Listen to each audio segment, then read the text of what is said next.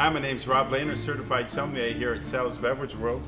And I'm going to taste the Vitiano uh, Rosso. This is a, a blend from Umbria. Could I call it a super Umbrian? Because it is a blend of Merlot, Cabernet Sauvignon, and Sangiovese.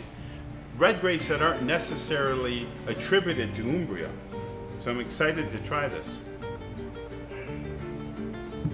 Boy, in the nose, I get that nice black cherry from the Sangiovese. A little bit of plum.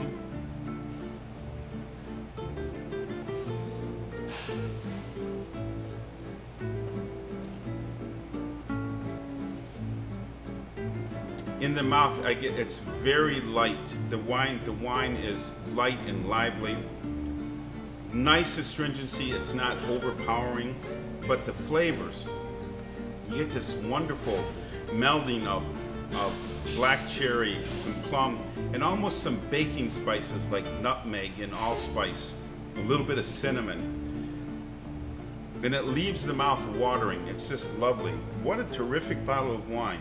The Vitiano uh, Rosso from Umbria by Falesco. Delicious.